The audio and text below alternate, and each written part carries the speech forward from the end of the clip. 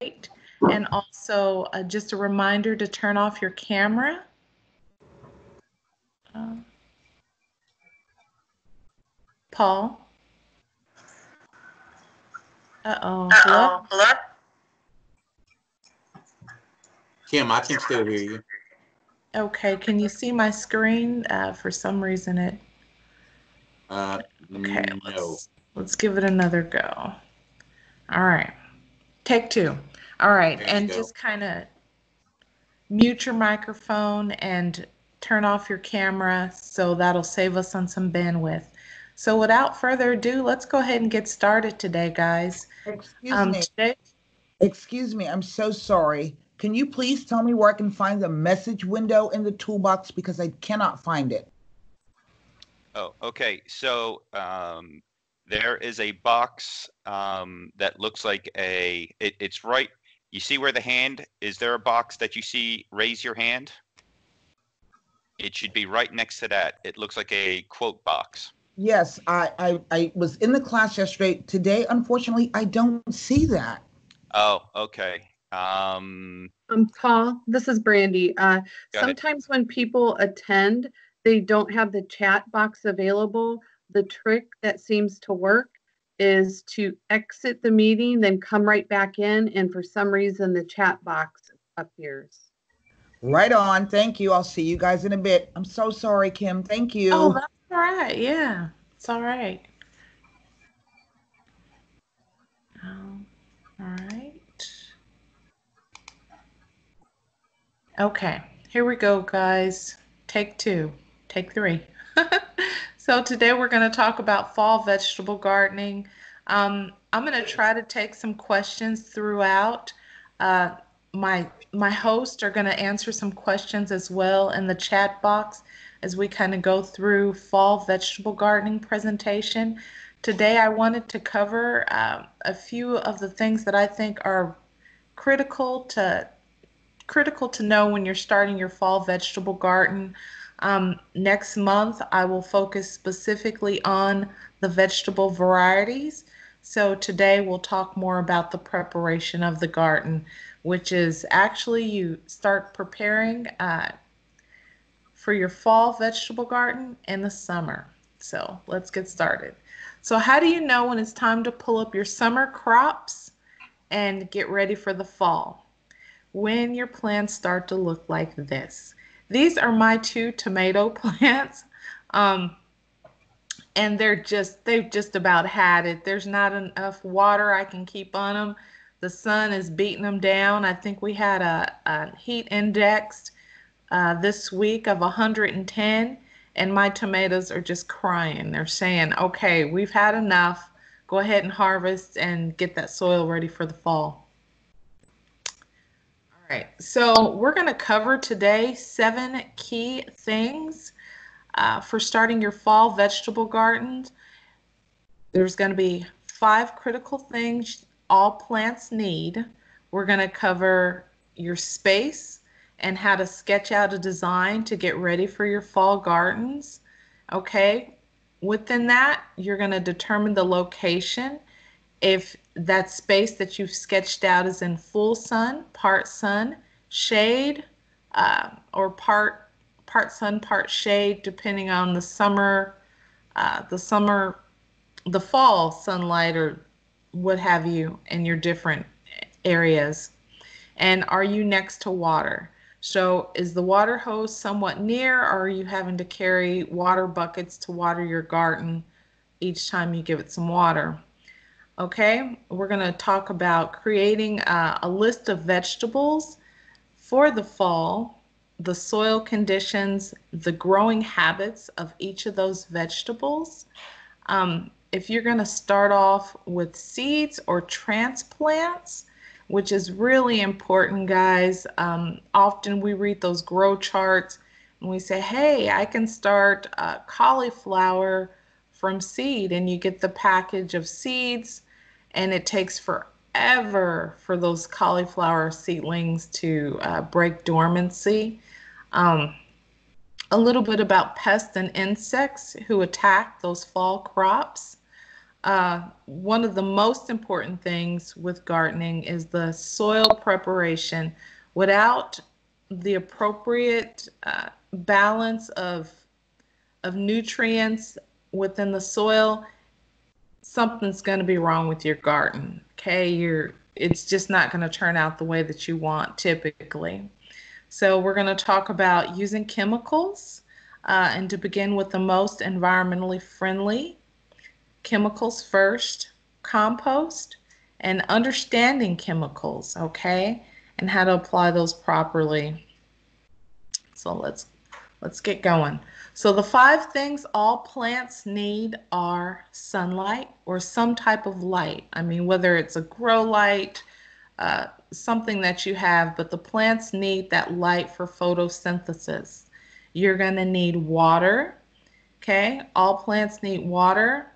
Water carries the different nutrients to where it needs to go, nourishes those roots. Um, you need air so think about some of the funguses that we get during the summer. Um, you want to actually have air that goes through not only the soil, but goes through the plants as well, uh, whether it be breeze, a breeze, just something that kind of blows through the leaves. Proper drainage. So you'll want proper drainage, um, especially if you're planting rhizomes, things of that nature, you don't want the water to sit in your soil. It'll end up rotting out your bulbs.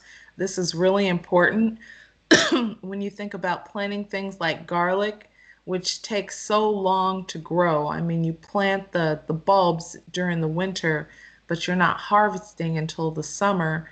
So without proper drainage, it just kind of rots out those, it can rot out those bulbs and of course nutrients. All plants need nutrients, whether you're growing in ground, the containers, you'll need those nutrients, which is why, and the, and the plants take them up pretty quickly, which is why you can start in the summer with the whole uh, container full of soil, and then closer towards the end of the summer, uh, about half of that soil is is depleted gone. All right. So the first thing I like to do each year is I create a sketch. You want to create a sketch of your garden. And I like to make copies. So what you see here is uh, from one of my previous gardens, and I just kind of created a sketch of what I wanted to what I want to plant that year, and I also write down um, I take little notes on how well that particular variety did for me. Uh, what you can't see here is I also make a note on where I purchased those seeds from. Um, where you purchase your seeds from is very important as well. Uh, some companies will let you know uh, the germination rate. So if say if you get some seeds and they have a 50% germination rate, well, that might be okay uh, for uh, someone who has access to large acreage. It's a hobby that you've grown, but in the city, uh, real estate is at a premium, and I need a a, a good germination rate for those seeds. Okay, and that's usually um, older seeds as well. Don't tend to germinate as quickly. So a few of the varieties that we can plant in the fall, and I'm going to kind of go through them uh, a little quickly here. So the first one we have is cabbage. Cabbage you start in the fall. I would, it does well if you seed it directly in the soil, but you need to do that sooner rather than later, or you can start off with uh, little transplants if you want to start your transplants uh, probably within the next week or so you should have a nice size plant to actually put in your soil. Uh, beets direct sow cauliflower i would start from transplants. Tomatoes some people say eh, i don't grow tomatoes in the fall. I get my best tomatoes in the fall okay? Because remember tomatoes need that cooler temperature at night in order to uh, to create the tomatoes. Um, I also get a few less insects during the fall than I do the spring. I'm not sure why, but tomatoes, that's tomatoes. Carrots, you always want to sow those directly in the soil. Um, carrots do not transplant well. Uh, lettuces, lettuces are pretty easy to grow. You just sprinkle those um, in the soil uh, and, and thin them out if you don't have them spaced out correctly.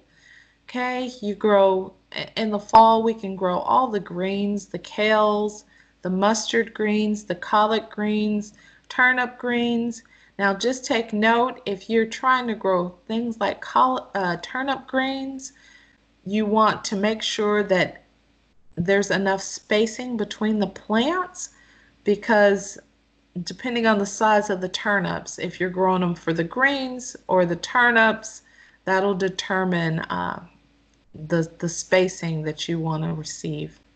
Okay, squash. So there's the summer squash and winter squash. And winter squash you actually start in the summer. Summer squash you actually start in the spring.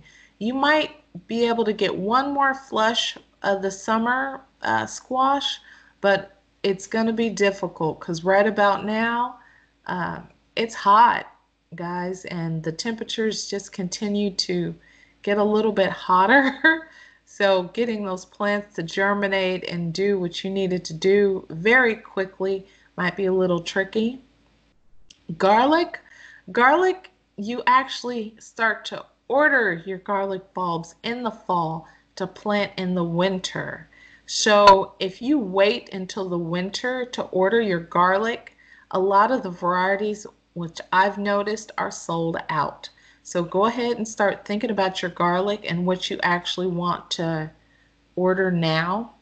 Broccoli, I would go with transplants. Um, it takes a long time to grow. Sugar snap peas are pretty pretty easy, direct sow. Leeks, same same deal. Leeks can take a little bit of time. Um, I would start planting those right now.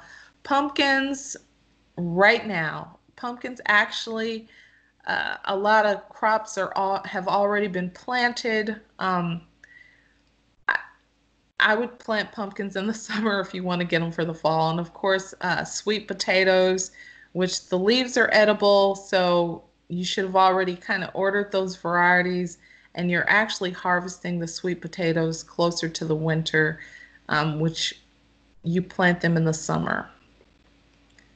All right, so take time to learn about the vegetable family, um, whether it's nightshades, which, you know, that's part the tomatoes, the potatoes, eggplants, and peppers, the legumes, the cucurbits, grasses, mallows, morning glories, and goosefoot. I'm not going to go through each uh, each type, but what this does is it helps you learn about the plant's growing habits and the pests and insects that attack um, specific varieties. So, for example, if you're planting your tomato next to the potato, you might have the same type of, you might be encouraging the same type of pest to attack that uh, particular uh, variety. Okay, um, this is also important um, for root, root knot nematodes uh, that get in the soil and they kind of destroy crops from the soil on up. So we don't in the city per se we don't have enough room typically to rotate our crops but if you can if a tomato is there in the fall i would switch it with a different type of plant just to let just to rotate the nutrients that are in the soil because one thing may really take up uh, one type of nutrients while another plant say for example uh, okra, which isn't too picky. You know, it can handle some some pretty um, nutrient lacking soils. Okay. All right, so begin with good quality, reputable. Uh, take a look at some of the reputable catalogs, reputable local retailers who who sell seeds, uh, saved seeds from open pollinated sources. So if you saved your seeds, say from heirloom seeds, then you can typically replant those seeds and it'll come back from those saved seeds. Hybrids, uh, not the case. Sometimes people are able to save their hybrids and replant them, but they might not come back true to form. Uh, check out new varieties. New varieties are so much fun. And, eh, you know, I'm a, I'm a big fan of heirloom varieties. Probably a larger fan when I have more space, but I want vegetables and I need them to come up and I need to show results now. So I lean a little bit towards the hybrids and the new varieties um, that have been tried through uh, different trial gardens. So determine seed or plant, what you're going to start with, okay? You have your sketch down, you've written down the list of varieties that you want to grow, and now you need to determine, do I want to start this from seed or plant? Um, I should mention that typically the larger the seed, the easier uh, the germination process is. The smaller the seeds, they they tend to have a struggle a little bit with the germination process. So I always overplant the seeds. So say if you want seven plants, I would start off with at least 14 seeds and just kind of thin them out as they they come up. So I listed a couple varieties that I would start from seeds. So the broccoli, cauliflower, um, peppers, I wrote down peppers because peppers I start in the winter and to have a fall pepper plant because that's how long those pepper plants tend to take from seed. Um, tomatoes, you can get those started right now uh, in containers and then transplant. Um, you do not want to direct sow tomatoes right now in the heat of the summer. Okay, and this is just a, another list of the families, vegetable families continued. So dandelion, parsley, um, the goosefoot, lily, which is some of these, depending on where you live, uh, grow well. Uh, for example, the asparagus, I've tried and tried in Houston, and they just don't seem to like our heat and humidity. Whereas when I go back home to Colorado, they're doing just fine. Okay. Uh, and the brassicas. So take special note of the brassicas those are primarily what most of us lean towards during the fall. Okay, so know the good guys, the good, the bad, and the ugly. So right about now, if you've already started your uh, your squash and you're not keeping a good eye on it, this guy is out there, okay? And it's a squash vine borer. And this is, if you, it, it's actually an attractive insect, believe it or not. But it's horrible. It's a horrible, horrible bug. okay. It lays uh, seeds on the stems of your squash. The seeds, the the eggs, I should say, the eggs are about the size, a little bit bigger than grains of black pepper. And they hatch, and those larvae burrow inside your squash plant and they eat it from the inside out. Um, and then your plant is pretty much toast. I mean, there's different ways, but it's difficult. But I can't tell you how hurtful it is to actually select your variety, start from transplant, get it in the ground, and then this guy comes around and kind of devastates the crop. So if you see those on your stem, you just kind of pop them off with your fingernail um, and take note, okay? I'm gonna put all those out there. Okay, so a few common diseases and insects. So in the fall, we get powdery mildew.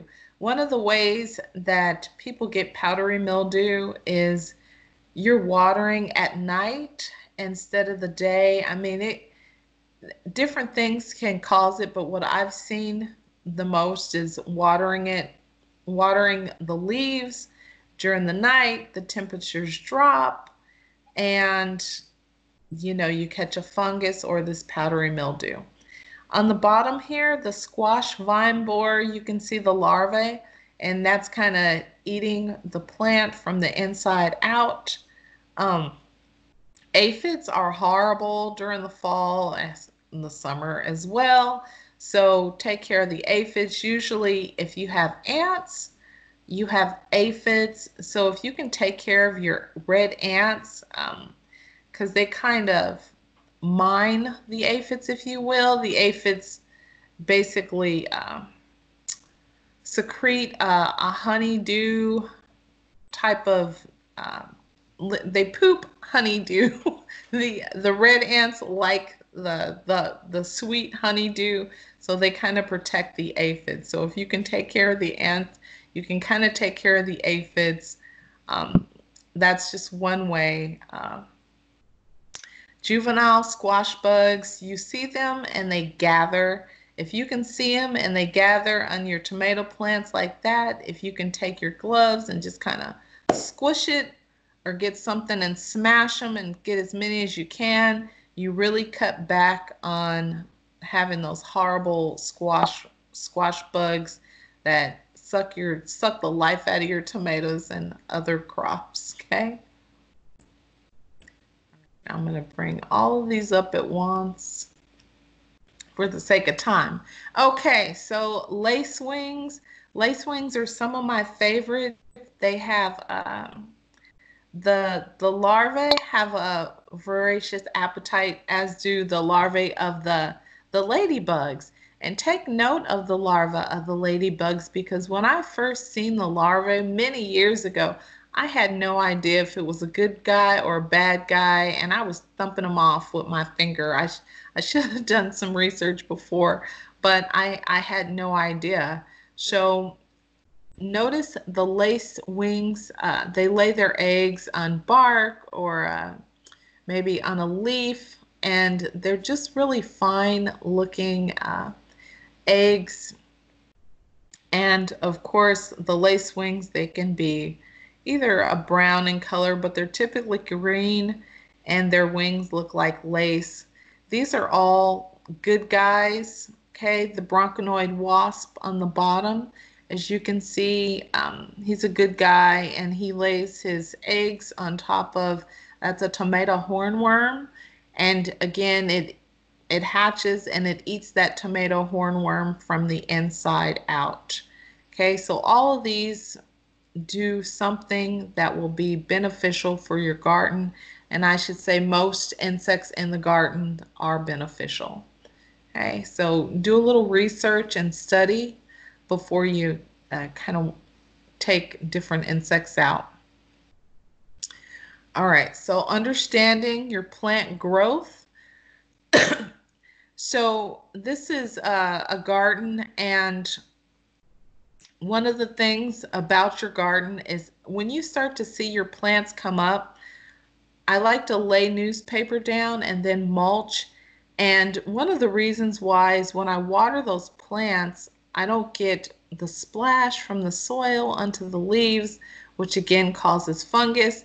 And if you can see by this uh, cucumber plant here on the left hand side, all the weeds are starting to come up and that helps uh, deter some of the weeds that come up as well as pests and other things. Also makes it look uh, nice and pretty. All right, so soil, soil. It's all about your soil. The best thing I've done for my garden is homemade compost. If you haven't started a pile, uh, it, it's so worth it, guys. I can't tell you how worth it it is to start your own homemade compost. Um, if you're if you have a new raised bed garden, it typically takes the soil about a season to become acclimated and all the microbes to work together and get that some symbiotic balance to give you a powerhouse of nutrients. Um, if you have established raised bed gardens, from my seasoned gardeners who are on the, the call as well, you know that you're adding stuff to your gardens as well each season because again, the plants take up those nutrients. I found it very helpful for the in-ground gardens. So when I do uh, buy containers and put my containers, say in a, a specific spot, if you're not in a, a, a townhome or apartment where your container's unconcrete, if you have access to soil, I leave the bottom open and that way the earthworms can find my uh, my soil and they kind of work their way up within the the container. All right. Any questions for me, Brandy or Paul? Um, no, not really. Okay. I, we, have been posting the links. Um, Paul, do you want to do the hand raises? Uh, yes, we can do that. So uh, let's see. The first one I see is uh, Jeannie Trippy. Do you want to put your mic on and ask your question, please?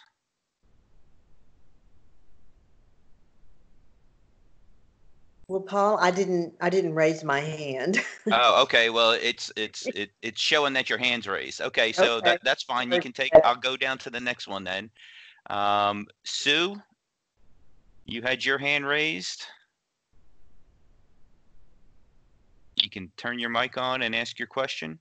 Yes, Paul, I did, but this was only about seedlings. I was just curious about how often to water seedlings. Um, I would just keep the soil moist. Um, depending on where you have your seedlings, if they're in direct sun or, you know, part sun, part shade, I would probably just give it, uh, depending on your container, maybe a little, a little bit of water every other day. And I water, I typically water mine from the bottom. Uh, as opposed to the top if you can, if it's in a little container where you can water the bottom and then that water just kind of soaks up from the bottom. I did that yesterday and I was amazed how it just soaked it up. Yeah, it's pretty cool. Thank you so much. You're welcome. All right, guys. So uh, I'm going to come back to questions here for the sake of time.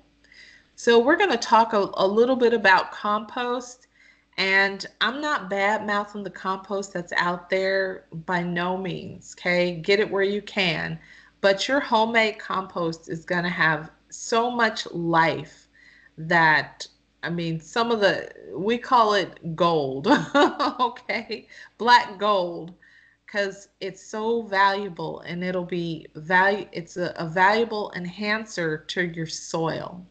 Okay. So these are a few of the things that you can compost.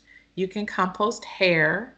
Yes, the hair on your head, not your your animal's hair from cats or dogs. If you don't have a lot of chemicals or a lot of dye, uh, you can compost that. Synthetic fertilizers, no. You don't want to compost synthetic fertilizers. I've found that uh, synthetic fertilizers tend to bind some of the nutrients in my soil um, when I put it in the compost. So sawdust from treated wood, no. Untreated wood, yes. Fingernails, yes. Leaves, absolutely. So that's where you're going to get probably the bulk of your compost are from leaves. Cat or uh, dog or cat waste, no. grass clippings, yes, but you want to be careful with your grass clippings. Uh, make sure it doesn't go to seed because that can be quite painful. If you cut the grass, it's went to seed, you put it in your compost, and all of a sudden you have this beautiful, beautiful lawn growing up through your compost pile. You don't want to do that. Uh, leaves, again, yes. Citrus peels and onion peels, you want to use those sparingly, okay? You don't want to use a lot of those. Glossy and coated paper, no. Um, fish or meat scraps, no. Weed seeds, no. Produce scraps, absolutely yes, okay? And I should say with the citrus and onion peel, you can use a little bit of it, but just kind of very sparingly uh, for different reasons. And of course, coffee and tea bags, yes. All right. So just take a quick look at this, guys. What not to compost and why. Uh, people say, well, why can't I compost synthetic synthetic fertilizers? And this are this is the actual reason why. And we're going to have this slide on our YouTube uh, page where you can go back and watch this if you want. I'll put the, the link at the end of this. Um, glossy paper, meats, onions, citrus, and pet, pest waste. Okay. All right, so understanding plant growth, understanding what you're trying to grow, leaves, bulbs, or roots. Okay, what do the numbers mean? The numbers on the bags are really important. They're nitrogen, phosphorus, and potassium. Often we see these numbers and we're like, what in the world does this mean? You know, everybody knows that the first number is nitrogen. This is important if you're trying to grow things like collard greens and mustard greens. You want that leaf to grow. You want it big and beautiful and pretty. Uh, things for things like kale as well. Okay, so the primary nutrients for nitrogen, it helps with cell growth and development. It keeps your leaves nice and green, promotes rapid vegetation, increases seed and tuber yield, and crop quality. When you don't have enough nitrogen, uh, your leaves may appear older in some parts. The plant's kind of yellow uh, they they're slow to grow. Sometimes they they purple a little bit or brown. Poor growth. Plants are spindly and prone to wilting. Roots are overly large and they are all susceptible to diseases and fungus as well as bad insects. Okay, so phosphorus, the role in the plant for phosphorus is it helps with photosynthesis, okay? Storing carbohydrates, uh, early plant establishment, the formation and quality of flowers, fruit, and seeds. If you are deficient in phosphorus, um, the plants tend it tends to show an older tissue, kind of this reddish purpling, as you can see from the leaf. Uh, the foliage becomes dull blue green and your growth is slow. Okay, the very last number, potassium. So it helps regulate water in the cells. Okay, uh, helps with the cell strengthening, helps with photosynthesis, uh, the formation and storage, uh, helps with fruit quality, increases resistance to stress, um, if you're deficient in potassium, you'll have poor growth, leaf burn, spotting, molting on the lower leaves. Lower leaves may show red pigmentation. Okay, that's if you're deficient in potassium. So a few of those resources for the the primary for the nitrogen and the phosphorus are bat guano blood meal, cottonseed meal, poultry mix, um, for phosphorus, bone meal, uh, fish meal. And I should also say for the nitrogen, uh, liquid. So my two go-tos are liquid seaweed. You can find that at any big box store, and liquid fish emulsion are what I use in combination with my compost. Okay, so fertilizers, the difference between a slow release and a fast release. Fertilizers are either water soluble or water insoluble.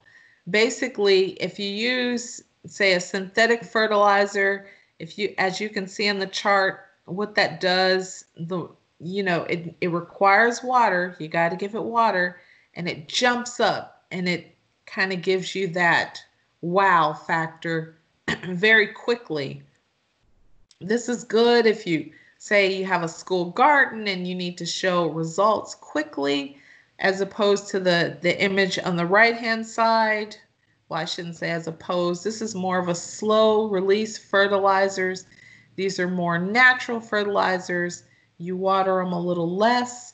Um, things will tend to break down naturally and it's a more steady growth okay so understanding plant growth so on the left-hand side, you can see different characteristics. Um, so with the compared to the slow release as opposed to the quick release fertilizers, the response time slow, quick, burn potential is high with some of those synthetic fertilizers. Uh, application for some of the synthetics, you need to put them down more frequently. Okay, they need the water. Um, this is kind of an, an old chart, but it's saying the cost of the product. I find that some of the natural stuff is actually getting up there in costs. so it costs just as much as the some of the other uh, synthetic product products. So the leach leaching potential. It does leach out into some of our streams, rivers, things like that.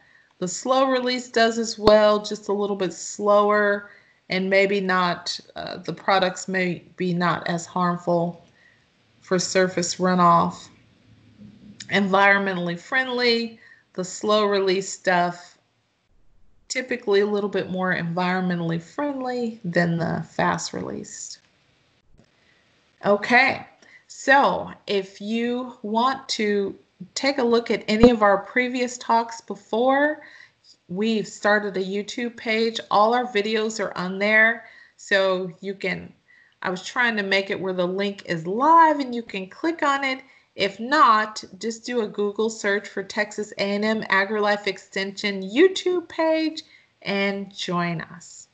So if you have any questions, please feel free to send me an email. Um, find me on Facebook. We post all of our events on there to mm. to learn about different other educational lectures. So, uh, without any further ado, any questions, Brandy? Um, not in the chat, but Paul can uh, take the hand raises. I, I okay. will say also that um, your particular video will go out to the people who registered for this also. Okay. So so they'll have the link in the email. Okay. Okay, I've got a few hand raises here. So, uh, Sarah Singer, uh, if you can turn your mic on and ask your question, please.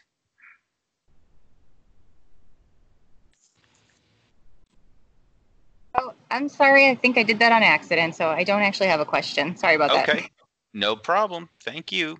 Uh, Tristan, your hand is up.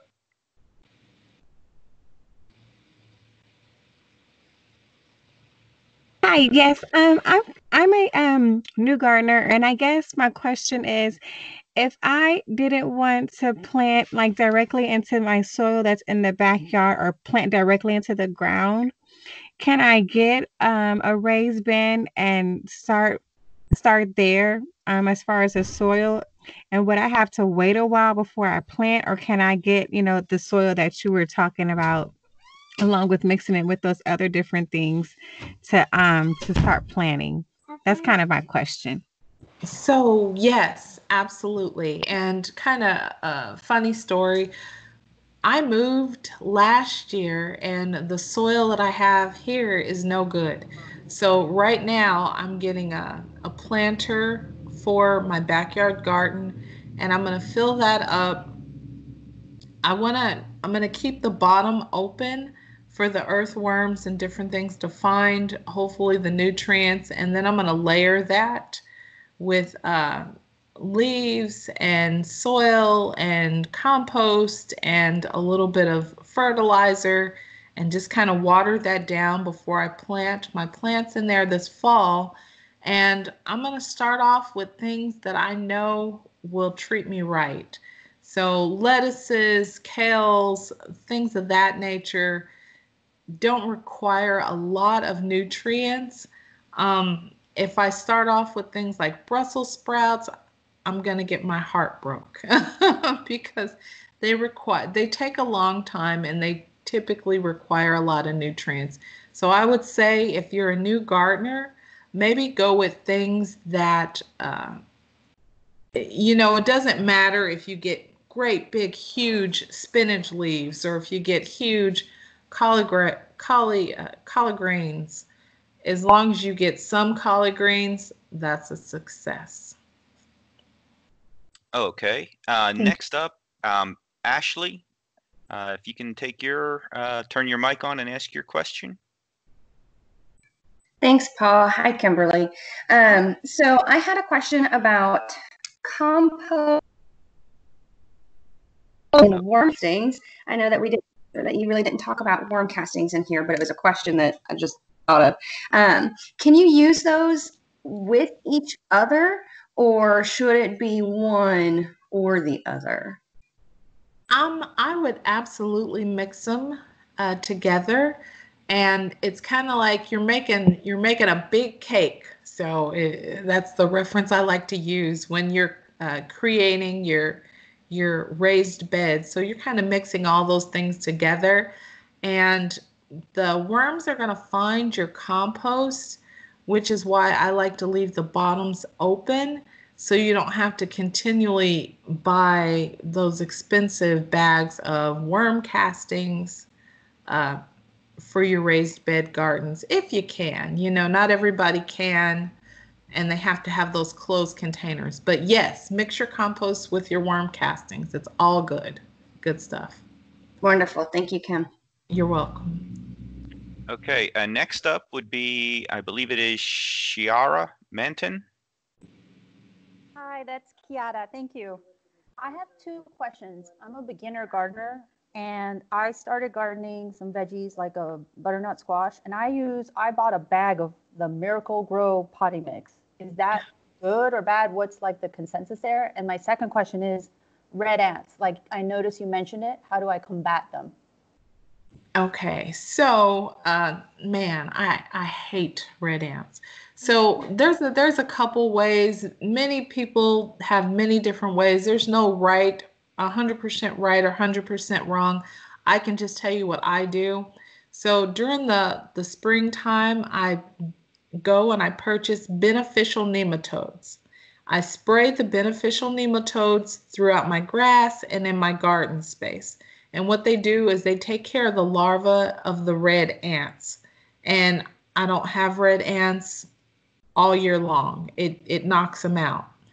Um, you can use some granulars as well for the red ants uh, to take care of that. And you were asking what your, I'm sorry, say that again with your butternut squash.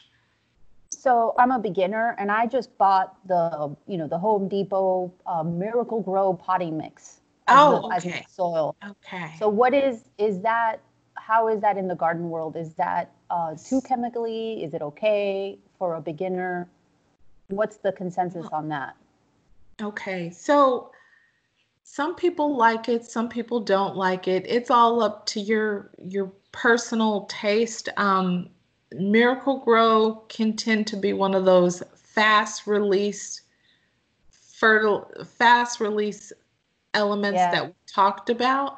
So I'm an organic gardener personally, just because over time you're trying to build that soil and create that symbiotic balance with the nutrients that are there. And, uh, you know, Miracle Grow might be just as good as well. It does bring those plants up fast that I've seen, but, you know, it's what you're trying to get long-term results like the the symbiotic balance where with my previous garden for years and years i only used basically compost and uh, some of the more natural uh, fertilizers uh, that were out there cottonseed uh, MicroLife things like that for the fertilizer. Okay, thank you. Hey, you're welcome. Uh, next up would be uh, Christina Stacy. Hi, thank you. Yes, I have a question about when to plant tomato plants. I'm not interested in doing seeds. And you talked about not doing transplants right now in the heat, but how long can I wait before I would put a new tomato plant in for the fall? Okay, so typically I would plant my tomato plants sometime in September, uh, right? The, the temperature is doing weird things on us now. It's getting just a little bit hotter, but if you could give it that morning sun, afternoon shade, and I would plant closer towards September, the beginning of September, and I usually go with a Roma or a cherry tomato because you have a shorter growing season in the fall for tomatoes. If you're going for beefsteaks, things like that, by time that tomato turns red, you know, you may have caught uh, temperatures that are a little too cold before it actually matures. Thank you. You're welcome. I apologize for interrupting. I don't have hand raised or, or a comment section. So can I get in line for question? This is Sandra. Uh, Sure. Sure. Um, yeah, I, I will just call on you, Sandra, as we work through this. No problem. Thank you very much. Okay, so next up would be Jane. Jane. Excuse me, I'm the same way. I don't have a hand up. Could you put Lucinda Matrowski down there also for a hand up? Hi, this is Jane. Hi, good morning. I have two questions. One is I have an above ground compost turner, and um, so I it's doing really really well with um, new earthworms, and um, my grandkids call it my earthworm farm. But is there is having too many earthworms in there? I don't want to overcrowd them or or to go ahead and just start. Uh, uh, dipping a cup in there and uh, relocating them to some of my garden areas. And on my tomato plants that I had for the summer, on some of them that are quite tall and big, the bottom two thirds are looking quite straggly, scraggly and uh, not looking great. But the top third of these tomato plants are looking very healthy and very leafy. And is there a way that I can propagate these tomato plants from the greenery that's growing on the top rather than planting from seeds or buying transplants.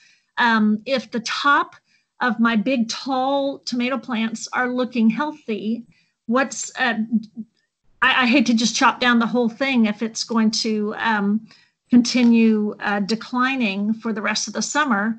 I'd love to save anything for future planting. Okay, so um, that might be a Paul question. Um, I am not, I've never seen uh, it, uh, plant propagation from uh, the mature tomato plant from the top. Uh, I don't, I'm, I'm not sure. Paul, do you know? Kim? I would. Um, there are in, in the uh, greenhouse tomato production, many of those, well, usually all of those plants are not started from seed, but actually they are started, uh, they are grafted. Um, so they, the tops are one variety, the rootstock is a, is, is different. Um, I, I would say, uh, give it a chance. Um, I'm, I'm, I would have, uh, assume that these will probably root for you rather quickly. Uh, they should root rather easily. I would get the younger, softer stems, not the thicker, hardier one. Um, but um, I have, I uh, likewise, I have not come across anybody that has taken cuttings off of their tomatoes and Paul? and, and used them for a fall production. But um, give it a shot. Paul, Go ahead. Uh, this is Jane Pfeffer. I'm Go a ahead, Gene. master gardener. Uh, I have um, I have done that, um, and the part of the plant that you need to take is what we would call a sucker. Uh, Okay. It's it's the part that comes up uh, between the main stem and uh, what we would just call a sun leaf because it doesn't produce tomatoes. It just gathers in sun to to help things grow. So if you take that sucker uh, and put it into uh, good potting soil and keep it moist, it will root and it will give you a plant for the fall. Oh, that's awesome. Okay, Nice. there you Thank go. Jean. Thanks, Gene. You're welcome. Okay, uh, next up, uh, Debbie Gear. Hi, good morning. Quick question on mulch. Um, you said to spread newspaper down and then mulch. What do you use for mulch? What material? Um, so I like to use the mulch that doesn't contain the dye. I'll use like a, a native mulch. And the thing about mulch, I put down the newspaper and it just helps supp- kind of suppress the weeds. It allows me to define the space a little bit more. And at the end of the season, I'll push the mulch to the side because when you mix it into the soil, the soil will then begin to break up the mulch and it'll focus on breaking up your mulch as opposed to growing your plants. Okay, yeah, that was my concern. So you just mulch around the plant, not the whole garden. yes. Okay, perfect. Thank you. You're welcome. Okay, next up would be Shannon. Can you can turn your mic on. So this last uh, spring, excuse me, I planted um, two uh, green pepper plants. They're about four feet tall. They get flowers. They look very healthy. They have nice green leaves, and they haven't produced a pepper one. So should I pull them out? Do they need more time? I are they okay in the heat? Um, I'm not sure what to do with them. Did I did I need to have three of them? Um, I am not sure uh, for the pe- for the pepper plants. I mean, there's many different things you can do. You said the whole plant looks healthy. It's producing flowers. Are the flowers dropping off? Uh, Not that I can see. Uh, they they look white. They're not um, like discolored or or anything like that. But I they just never produce peppers. Not a one. I would give it a little bit more time. Sometimes peppers can grow slow, uh, especially in the heat. My my peppers put on in the spring, but right now in this heat heat, the the the bell peppers are not producing. Um, the plant's still alive, so I know it will. I, I think it, it puts back on a little bit more during the fall. Um, bell peppers do like the heat, so it's not gonna kill your plant typically, but the ones that do uh, put on more are the, the smaller peppers, uh, jalapenos, and things of that nature. But if you send me an email, I'll do a little bit more research and see if I can get a better answer to your question. Okay, thank you so much. You're welcome. Yeah, Kim, it sounds like it, there might be a pollination issue. Um, so whether the bees aren't working the flowers or um, because if she's if she has good flower set, um, there there's something must be wrong that um, pollination isn't occurring. So that that might be the challenge. Okay. Um, next up is uh, Michelle.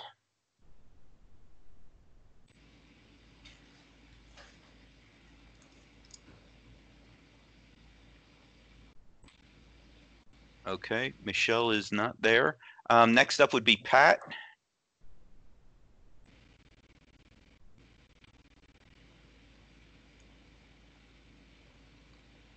Going once, going twice. Okay, Neil.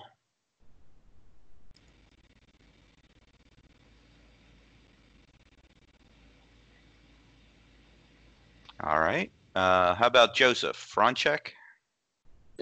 Yes, good morning. Um, I had a question with respect to getting your fall garden started. Um, I've seen a lot of planting charts, calendars out there, like the Texas AgriLife one, that kind of show you, you know, what time frame of what month you should plant each plant. Um, but it seems that that applies to when you want to put it outdoors in your garden. But I also read things like, um, for example, now you should be starting tomatoes and peppers inside from seed to be ready to transplant out there. Um, so I'm, I kind of struggle to know for the plants you want to start from seed indoors to be ready on those calendar dates outside, exactly where to find information on when to start each kind of vegetable. Is it just a matter of knowing each vegetable individually and knowing how much time and how big it would grow indoors before that outdoor planting time? You know, I would say, I, I believe the Harris County Master Gardeners, I think we have a planting guide that they updated uh, a couple years ago and they wrote down either seed or plant. I could be wrong, but I believe I saw that. But yeah, you guys have it. I, I use that one. Yeah, it has seed or transplant on it. Okay, okay. So if you can kind of take a look at that, that lets you know whether or not you want to start with seed outside or plant uh, to go outside and then just to make that sketch and write down the varieties that you want to grow. Knowing your varieties is going to be really important. Uh, you know, so if you're trying for uh, carrots, you're not trying to start those in pots and transplant them because carrots hate to be transplanted, uh, as do corn and things of that nature. Yeah, the direct sow stuff seems to be pretty straightforward. Um, you just follow those planting guides like the ones I was mentioning. It was more for the seed ones, but you said the Texas Master Gardener has that's where I can find a planting calendar with seed dates for indoor as well. Yes, Harris County. Oh, sorry. Go Yeah. ahead, Paul.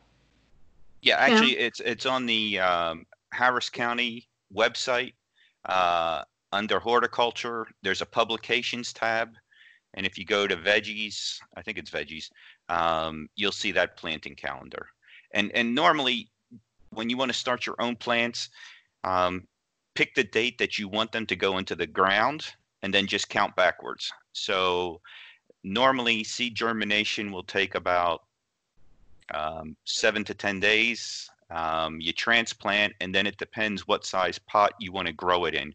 I uh, normally I would give give it at least um, say six to eight weeks prior to it going in the ground.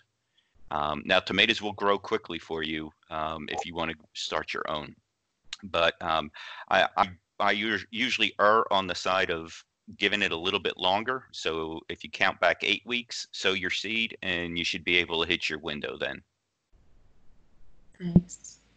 All right. Um, Kim, it is top of the hour, Kim. We do have a few more hand hand hands raised. Um, I would say um, if you've got your questions, Kim's email address is right here, kimberly.perry at ag.tamu.edu. Um, so please, um, you can send your questions to her uh, about her presentation.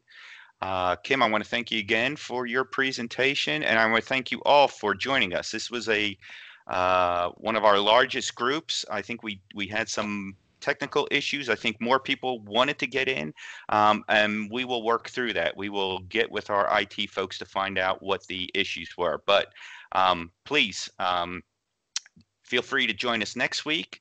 Um, we will have a interesting topic by Brandy Keller uh, with re- the unique eats. Uh, so uh, again, thank you all for joining us, and uh, have a great day. All right, Hi, right. and Thanks, guys. Great job, quick. guys. Great job. Real Thank quick, this is Joe. Uh, as far as your IT issue goes, I know um, Teams has a max of 250 people for a meeting. Uh, so I think you went over that limit, and anyone after 250 was not able to join. Okay, yeah, they, see, they, they told us that two fifty, um, they could be interactive with regard to being able to ask questions and raise their hand, but then that, we were told that above two fifty, they would just be able to at least get on and listen. Um, but they wouldn't have the interactive, so that's one of the questions we've got to find out and, and, uh, take care of that for the future. This is Marissa. I work for HISD and we've been using Teams a long time. Um, whenever we have a meeting that's larger than 250, we use the option of doing a live meeting. It's like a different type of meeting where people can still ask questions. So you might want to look into that as well. It's called a live meeting on Teams. Okay, thank you. Thank for that. you. Yep. Mhm. Okay. All right. Um, you know what, um, Kim, I don't know if, uh, Brandy and, um, Shannon are still on, but I would like for us to, to get together here, um, say in about fifteen minutes. Um, because I'm sure everybody's got some comments, um, so I think it might be helpful. All right. So we'll we'll click back on the link 15 minutes.